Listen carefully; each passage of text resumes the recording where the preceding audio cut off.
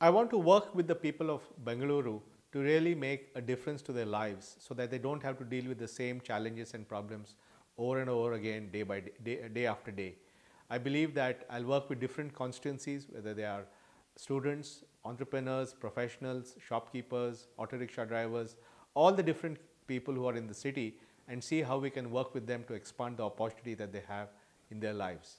You know, very often when I embarked on a new journey, people have told me that it's very difficult to do and I shouldn't do it.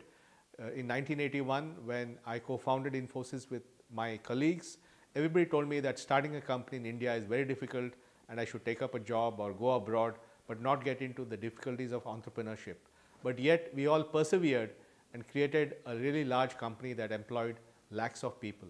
Similarly, in 2009, when I was asked to uh, join the UIDAI and head that project, a lot of people told me it's impossible to work in government and get things done and you really shouldn't be making this move from the private sector to government. But four and a half years later, more than half a billion Indians have an identity. We built the world's largest cash transfer system. And the other day I met someone, a Dalit entrepreneur, who told me how people who worked for him now had an Aadhaar number and therefore they had much less challenges when they met a policeman and they really hassled much less. Or I spoke to a friend of mine who was able to get he's made a bank account because that person had an Aadhaar number. Today we have built many of these things which at scale have provided access to services that were never there before.